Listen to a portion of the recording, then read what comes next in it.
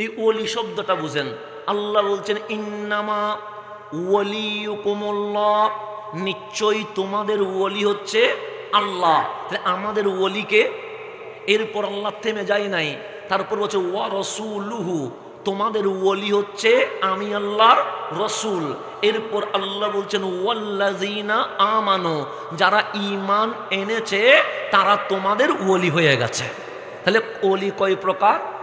তিন প্রকার। এখন আমানো বলতে তো আমিও মুমিন, আপনিও মুমিন, আমরা কি সবাই ওলি?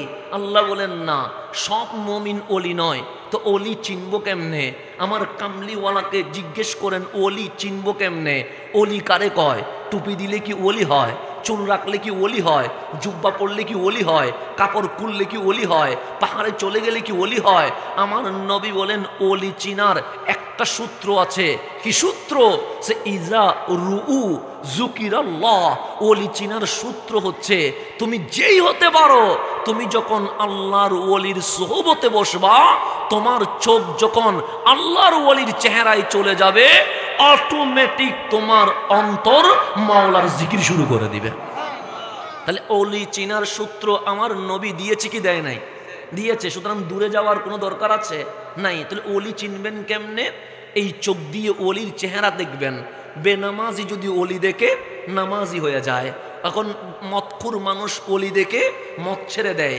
মা বাবার অবাধ্য সন্তান যখন অলি দেখে, মা বাবার বাধ্য হয়ে যায়। তা আল্লাহর অলির চেহারা এমন নূর আছে, এমন পাওয়ার আছে, এমন তাকত আছে, এমন শক্তি আছে, যেই ব্যক্তি আল্লাহর ওলির সোহবতে আসবে, যেরকম চম্বুক একটাকে আরেকটার সাথে মিলাইয়া দে। আল্লাহর ওলির সামনে, আল্লাহর বিপক্ষের কেউ আসলে আল্লাহর ওলির আকর্ষণে তিনিও আল্লাহর প্রিয় হয়ে যায়। এটা হচ্ছে ওলি সিনার অন্যতম মাধ্যম। তো এই পাওয়ার আসলো কেমনে? এই ক্ষমতা আসলো কেমনে? তো আল্লাহ বলছেন, তোমরা আল্লাহর ওলি নয়। যেমন আমি যদি বলি, আমি আল্লাহর ওলি। হবে না। আপনি যদি বলেন, আপনি আল্লাহর ওলি। হবে না। তা আল্লাহ বলছে, ওয়াল্লাযীনা আমানু। যারা মুমিন, তারা আল্লাহর বলে মালিক, আমিও তো টুপি দিয়েছি। আমি কি ওলি? আপনি বলবেন, আমিও তো দাড়ি রেখেছি। আমি কি ওলি? আপনি বলবেন, আমিও তো জুব্বা পরেছি। আমি কি ওলি? আল্লাহ বলে, ওলি কারা জানো? আমরা বললাম, কারা? আল্লাহ বলে আল্লাহ সলা, যারা নামাজ কায়েম করে ও আত ওয়া যাকাত যাকাত দেয়, তা আপনিও নামাজ পড়েন, আমিও জাকাত দেই। তাই বলি কি ওলি হয়েছি? আল্লাহ বলে না। ওয়াহুম রাকিউন, চব্বিশ ঘণ্টা তারা রুকু অবস্থায় তাকে তার মানে ওদের সেকেন্ড মিনিট ঘণ্টা পুরাটাই মাওলার জিকিরে ব্যস্ত থাকে। তাহলে ওলির সংজ্ঞা দিয়েছেন কে? আল্লাহ।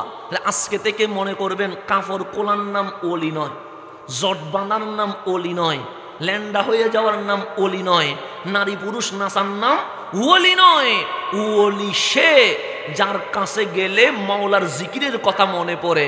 তা আল্লাহ বলছে, আমি তোমাদের ওলি। তো যখন আল্লাহ আমাদের ওলি হবে, তার মানে আল্লাহ আমাদের মালিক। দুই নাম্বার রসুল আমাদের ওলি। রসুল যখন আমাদের ওলি হবে, তার মানে রসুল আমাদের আঁকা, রসুল আমাদের মুনিব, রসুল আমাদের রাহবার। তিন নাম্বার আল্লাহর ওলি যখন আমাদের ওলি হবে, তার মানে উনি আমাদের হাদি, আমাদের পথ প্রদর্শক, আমাদের জন্য সিরাতে মুস্তাকিম হয়ে যাবে। সেই জন্য সিরাতে মুস্তাকিমের দরকার আছে না নাই? আছে। কেন? সুরা ফাতিহা আমরা পড়ি কি পড়ি না? কোথায় পড়ি? নামাজে পড়ি কবর জিয়ারতে পড়ি কোনো কিছু ফাতিহা দিতে পড়ি। সোনা ফাতিহার দরকার আছে না নাই? আছে। সুরা ফাতিহা ছাড়া নামাজ হবে? হবে না। সুরা ফাতিহা ছাড়া দোয়া হবে? হবে না। সুরা ফাতিহা ছাড়া মসলিজ হবে? হবে না। সুরা ফাতিহা ছাড়া কোরআন হবে? হবে না। কেন? প্রত্যেক সুরা নাজিল করেছেন আল্লাহ এনেছেন জিবরিল আমিন। কথা ঠিক কিনা? এতে কোনো সন্দেহ আছে? নাই। আল্লাহ নাজ্জালা আলা আব্দিকা। আমি আব্দি, আমার বান্দার উপরে আমি কোরআন নাজিল করেছি। তো এনেছেন কে? রুহুল আমিন। কিন্তু কোরআন সুরা ফাতিহা যখন খুলবেন, শানে নজুল যখন পড়বেন, আল্লাহ যখন সুরা ফাতিহা নাজিল করাচ্ছে, জিবরিল আমিন একলা আসে নাই। আল্লাহ ডাক দিয়ে বললেন, জিবরিল, আমি এই সুরা ফাতিহা কাউরে দেয় নাই। তা আমার কামলিওয়ালারা দিচ্ছি। সুরা ফাতিহার আয়াত হচ্ছে ষাটটা সেই কারণে সুরা ফাতিহা নাজিল হওয়ার সময় জিবরিল আমিনের সাথে সত্তর হাজার রহমতের নুরানি ফেরেস্তা জমিনে নাজিল হয়ে গেছে। কেমন দামি ফাতেহা, একলা নাজিল হয় নাই। সুরা বাকারা এসেছে, জিবরিল আমিন একলা। সুরা মায়েদা এসেছে, জিবরিল আমিন একটা, একলা। সুরা আলে ইমরান এসেছে, জিবরিল আমিন একলা। কিন্তু যেদিন সুরা ফাতি আসছে, আল্লাহ বলে, জিবরিল একা যাইও না সত্তর হাজার ফেরেস্তাকে মিছিল সহকারে নিয়ে যাও। কেন? আজ লৌহে মাহফুজের সুরা ফাতিহা জমিনে তশরিফ আনছে। সুতরাং এই সুরা ফাতিহার সম্মান আছে। একলা জালে হবে না রেলি জুলুস নিয়ে যেতে হবে। আপনারা তো অনেক সময় জুলুস খুঁজি পান না। এরকম হয় না? হয়তো। বাংলাদেশে অনেকে জুলুস খুঁজে পায় না রেলি খুঁজে পায় না। নবীর আনন্দে ঈদ খুঁজে পায় না। এরকম হয় কি হয় না? হয়, তা আল্লাহ বলছে, জিবরিল, সুরা ফাতিহা, লৌহে মাহফুজ থেকে আজ মক্কাতুল মুকাররমায় নামছে। সুরা ফাতিহার একটা দাম আছে, মূল্য আছে সে সিঙ্গেল যাবে না, একলা যাবে না।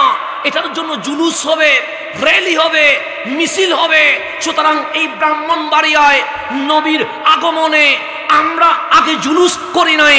আমার মাওলা সুরা ফাতিহার আগমনে নিজেই জুলুস করে দিয়েছেন। তো সুরা ফাতি আসলে যদি জুলুস হয়, যেই নবী না আসলে ফাতি আসতো না। কথা ঠিক না? যেই নবী না আসলে কোরআন আসতো না, সেই নবীর জুলুস করলে কি কোনো ঝামেলা আছে? না বাংলাদেশে এখন সব কিছু প্রমাণ হয়ে গেছে, আলহামদুলিল্লাহ। আর নতুন দলিল দেওয়ার দরকার নাই। এখন আমাদেরকে বলতো আগে মিষ্টি খাওয়ার এখন তারাও মিষ্টি দিয়ে ঈদ পালন করে। আলহামদুলিল্লাহ। তারাও মিছিল করে, আলহামদুলিল্লাহ, এটা আমি বিরোধিতা করছি না। তাদেরকে ধন্যবাদ জানাচ্ছি। তো সাধারণ সাধারণ একজন মানুষের জন্য যদি আনন্দ মিছিল হতে পারে, মিষ্টি খাওয়ায়া যদি ঈদ হতে পারে, যার জন্য সূর্য ওঠে যার জন্য চাঁদ হাসে যার জন্য তারকারাজি ঝিলমিল করে, যার কদমের পিছনে কোরআন দৌড়ে, সেই নবীর জন্য নিশ্চয়ই আরও বড় জুলুস করার প্রয়োজন আছে। কথা ঠিক না আর জামিলা করার কোনো দরকার? যখন আপনারা এতটুকু বুঝে গেছেন, এখন আসেন নবীর শানে আগামী বছর একসাথে জুলুস করে। আসেন কামলিওয়ালার জন্য ঈদ পালন করি। কারণ এখন তো আপনারা বুঝেছেন ঈদ কীভাবে পালন করতে হয়। এখন তো আপনারা বুঝেছেন কীভাবে গাড়ি সাজাইতে হয়? এখন তো আপনারা বুঝেছেন কীভাবে গলার মালা দিতে হয়। এখন তো আপনারা বুঝেছেন কীভাবে মিছিল করতে হয়। বুঝে যখন গেছেন, চোদ্দশো বছর পরে আসেন আমরা একসাথে আগামী বছর কামলিওয়ালার শানে জুলুস করে থাকি। আর কোনো ঝামেলা হবে? হবে না। তো সুতরাং সাধারণ ব্যক্তির জন্য যদি রেলি হতে পারে, অসাধারণ নবীর জন্য কি রেলি হতে পারে না? পারে কি না? পারে। সেজন্য আল্লাহ সুরা ফাতেহা নাজিল করার সময় তখন তো মুসলমানের সংখ্যা দশ বারো জন। বড় করে তার জুলুস করা সম্ভব নয়।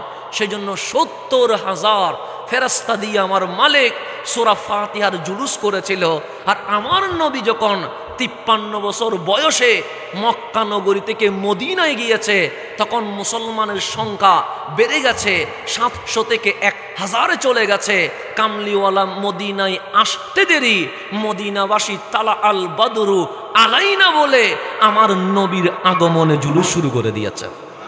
তাহলে জুলুস নতুন কোনো আবিষ্কৃত জিনিস নয়। সেই জামানায়ও ছিল, এই জামানায়ও আছে। সুতরাং সর্বজমানায় থাকবে, এটাকে মুছে দেওয়া সম্ভব নয়। এই সোরা ফাতিহা কারা পড়ে?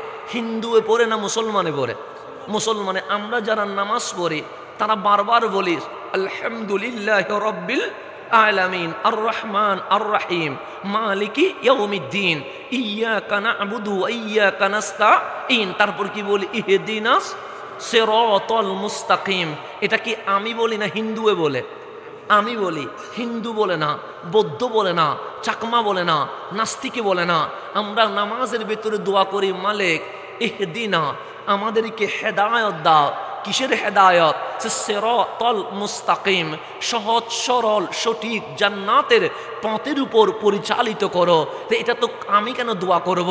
কারণ আমি নামাজ পরিমাণে আমি সঠিক পথে আছি, আমি আজান দে মানে আমি ইসলামের পথে আছি, আমি একামত দিই মানে আমি তো আল্লাহর পথে আছি।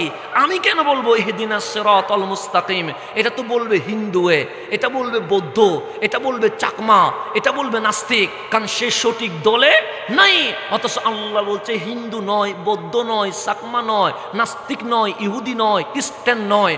তুমি মুসলমান, যে মসজিদে নামাজ পড়ো, তুমি বলবে, ইহেদিনা সেরতল মুস্তাকিম। মালিক কেন?